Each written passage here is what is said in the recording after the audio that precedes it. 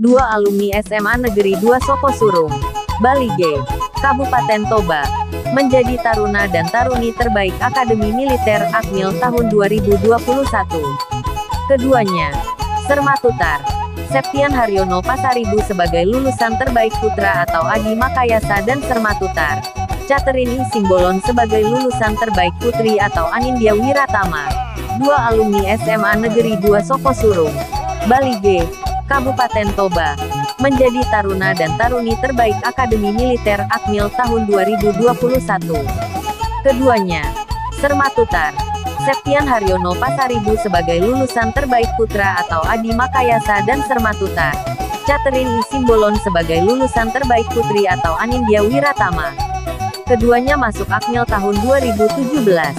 Hal ini juga disampaikan dua alumni SMA Negeri 2 Soko Surung, Bali G, Kabupaten Toba, menjadi taruna dan taruni terbaik Akademi Militer Akmil tahun 2021.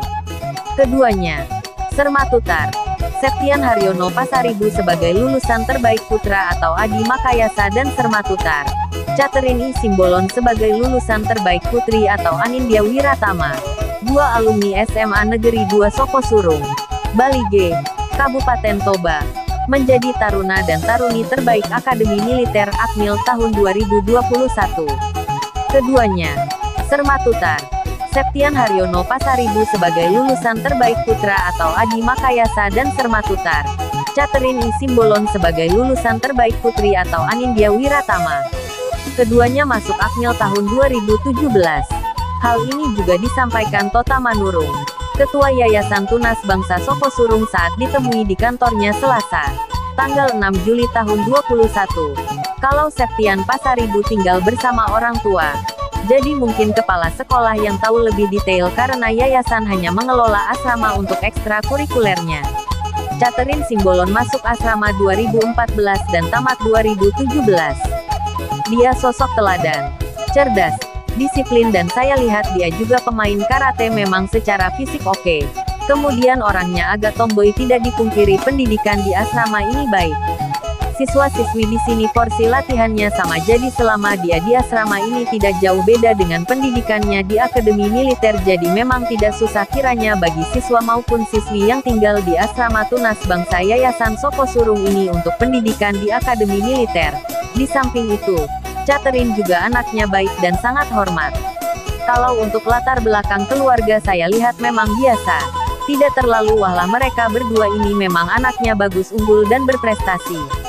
Kalau Catherine sendiri selama di asrama kalau masuk siswa baru jadi snat pelatih. Tambah Tota.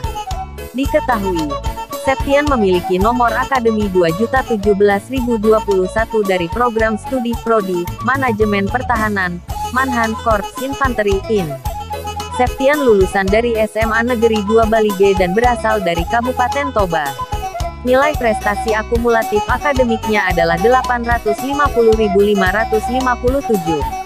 Perbekalan dan angkutan Ceba. Catherine juga lulusan SMA Negeri 2 Bali G dan berasal dari daerah Sitinjo, Kabupaten Dairi. Ayahnya Parti Parto Oktoberto Simbolon, yang bekerja sebagai ASN Dinas Perhubungan, dan ibunya Lisna Aprilianti Marpaung seorang ibu rumah tangga.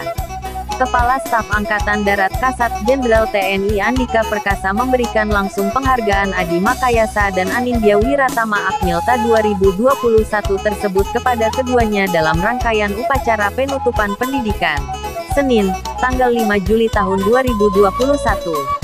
Upacara penutupan pendidikan dan wisuda sarjana bagi taruna-taruni tingkat 4 Akmilta 2021 diikuti sejumlah 227 taruna-taruni. Mereka terdiri atas 209 taruna dan 18 taruni. Upacara bertempat di lapangan Stadion Sabta Marga Akmil Magelang. Jaya Napitupulu keduanya masuk Akmil tahun 2017. Hal ini juga disampaikan Tota Manurung. Ketua Yayasan Tunas Bangsa Soko Surung saat ditemui di kantornya Selasa, tanggal 6 Juli tahun 21. Kalau Septian Pasaribu tinggal bersama orang tua.